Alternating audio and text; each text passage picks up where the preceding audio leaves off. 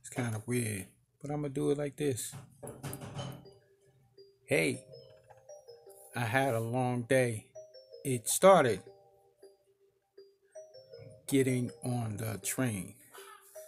After I went to the store, had me a cup of tea, I jumped on the N train, headed to Berkeley. I switched up, jumped on a three, got off at Saratoga, did my building, and jumped on the bus. I got off, had a break, and went back to work. Kicked it with some friends. They were kinda hurt. Cause COVID 19 was bothering them so bad. They drank a couple of beers. They were looking kinda sad. I finished work.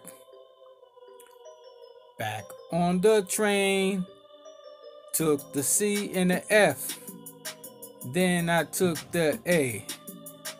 Took the R to the D. I'm back home, you see. I was rapping to the beat I created just last week. Smooth One Productions. And I'm out, out, out, out.